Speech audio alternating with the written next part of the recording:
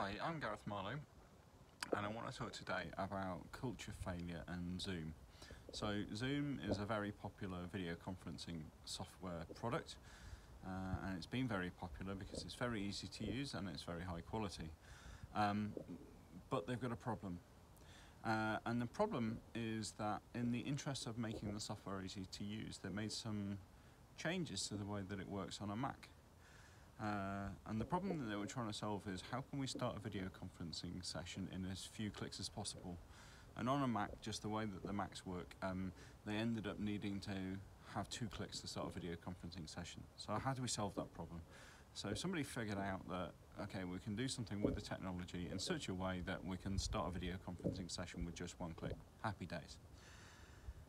Except there's a problem.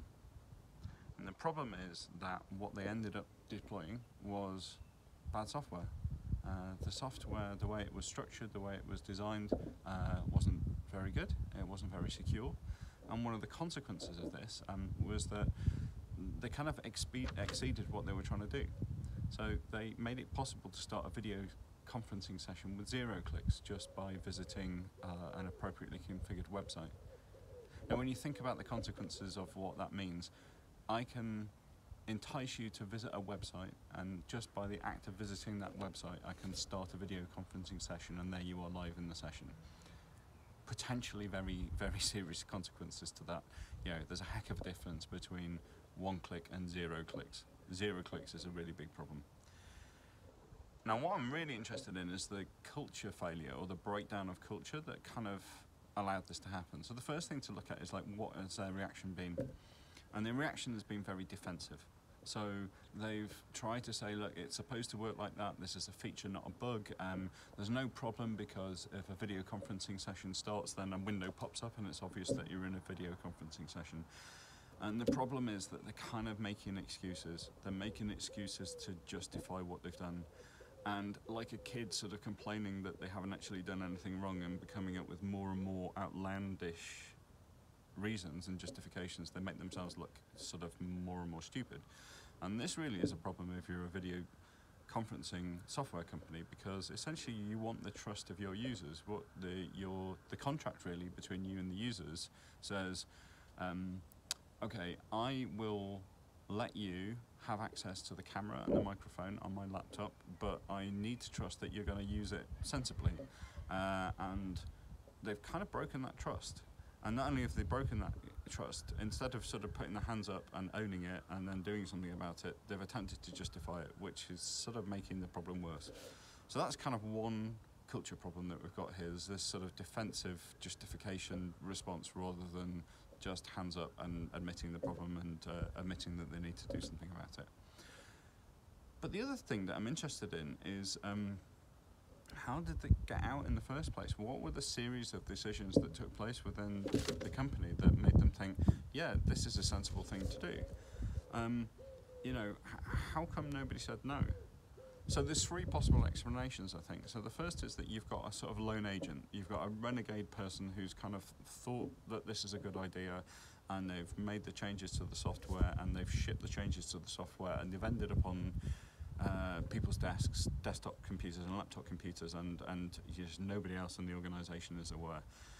I, I, just don't buy this. Okay, it typically takes at least tens of people to write software, test it, get it out to the field, and get it into the hands of users. Um, number of different people in different roles and different functions. I refuse to. I sort of refuse to believe that this is even possible for a lone agent. Um, Okay, the second possible thing could be that nobody actually saw the problem. Nobody actually realised that this was going to be a problem before it was discovered out in the wild. And again, it's like, really? Really? There's nobody there who kind of thought, oh, are there any downsides to this? Should we, we maybe not do that?